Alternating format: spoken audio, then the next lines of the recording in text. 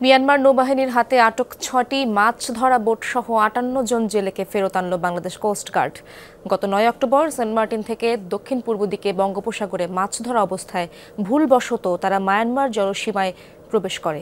এ সময় মায়ানমার নৌবাহিনীর speed boat থেকে ট্রলারগুলোকে লক্ষ্য করে গুলিবর্ষণ করে। এতে তিনজন জেলে গুলিবিদ্ধ হয় এবং একজন ঘটনাস্থলেই মৃত্যুবরণ করেন। মায়ানমার নৌবাহিনী তাদেরকে অবৈধ অনুপ্রবেশের দায়ে ট্রলার সহ আটক করে নিয়ে যায়। এ সময় কোস্টগার্ড বিষয়টি অবগত হলে মায়ানমার নৌবাহিনীর সাথে যোগাযোগের মাধ্যমে আটককৃত জেলেদের ফিরিয়ে আনার কার্যক্রম শুরু করে। এরই ধারাবাহিকতায় গতকাল এগারো জন জেলেসহ একটি ট্রলার এবং পরবর্তীতে সাতচল্লিশ জন জেলেসহ পাঁচটি ট্রলার শাহপুরী দ্বীপ জেটি ঘাটে এসে পৌঁছায়। জেলেদের একজন নিহতও হয়। এ সময় জেলেদের প্রাথমিক চিকিৎসা ও খাবার সরবরাহ করে কোস্টগার্ড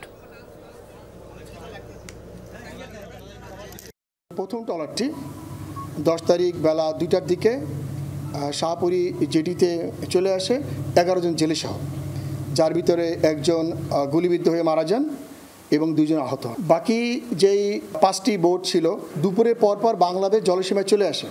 এবং বিকালের দিকে তাজউদ্দিন জাহাজ মোতায়েন ছিল। সেই জাহাজের পাশে চলে আসে। ওই মুহূর্তে তাজউদ্দিন জাহাজ থেকে যারা জেলে ছিল তাদেরকে প্রাথমিক চিকিৎসা এবং খাবার খাবার সরবরাহ করা হয়।